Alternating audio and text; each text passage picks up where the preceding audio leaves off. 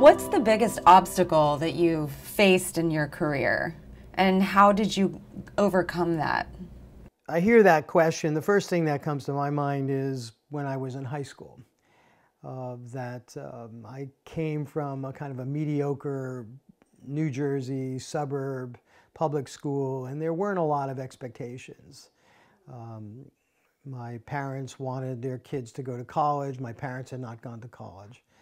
Uh, but they had brother, uh, my mother had brothers that had gone to college. My father's family, he was the first one to graduate high school, an immigrant Italian family. Wow. So there weren't a lot of expectations to do things that were, let's say, intellectual or, or based around ideas.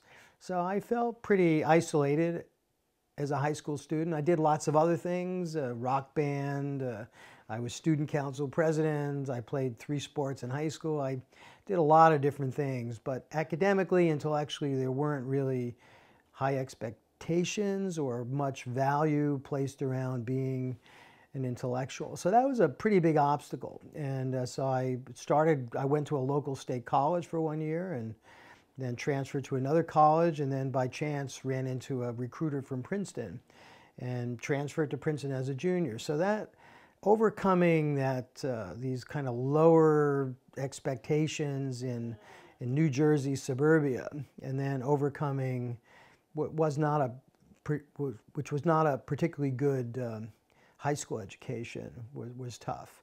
But once I got into Princeton, uh, things took off, and I don't really feel that professionally I've had many obstacles since then.